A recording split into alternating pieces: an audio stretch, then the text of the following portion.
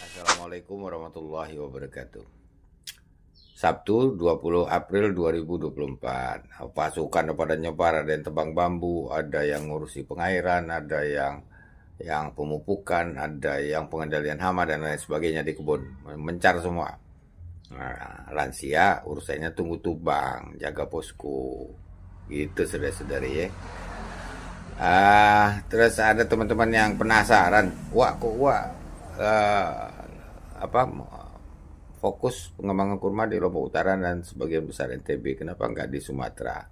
Sumatera lahannya luas. Nah, Wak jawab ya, jawabannya sederhana sebetulnya. Karena Wak udah kategori lansia, jadi sudah nggak berani lagi, sudah penakut, nggak berani kita untuk ini ya, berjibaku. Benar nggak berani. Kenapa?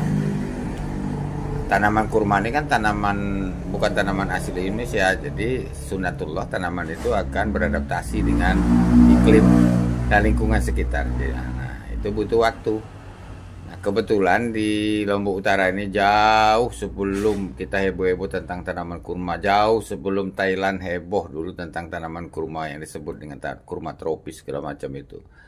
Di Lombok Utara dan sebagian besar NTB ini banyak pohon-pohon kurma yang tumbuh.